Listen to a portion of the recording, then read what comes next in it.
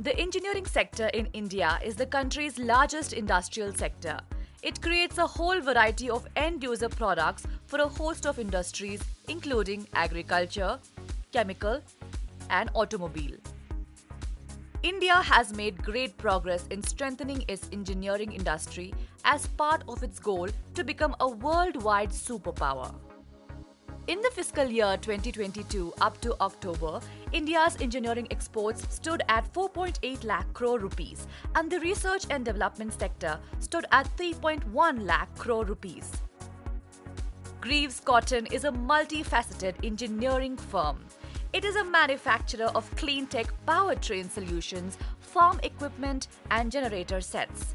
Currently, it has over 500 retail centers and 6,300 plus spare parts retail locations.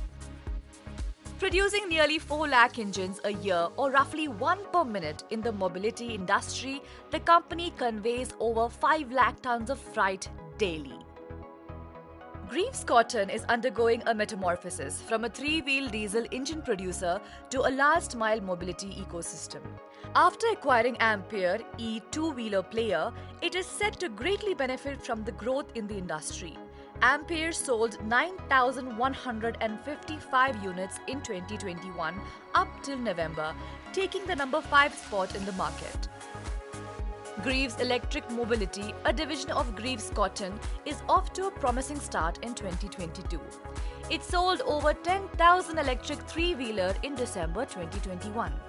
According to Greaves Electric, Ampere scooters recorded an almost six-fold increase in revenue in December 2021 compared to the same month last year, while the electric three-wheeler company witnessed a 101% increase in volume. Greaves Cotton is practically debt-free with a net cash position of 280 crore rupees. With future development in mind, Greaves Cotton has reinforced the leadership team of the e-mobility business in order to expedite business expansion. Company is constructing a new electric vehicle manufacturing factory in Tamil Nadu at an anticipated investment of 700 crore rupees.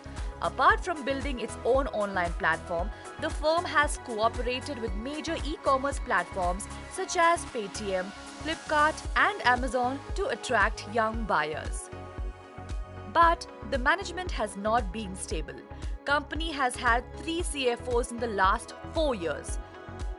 So, what is our view on company valuation?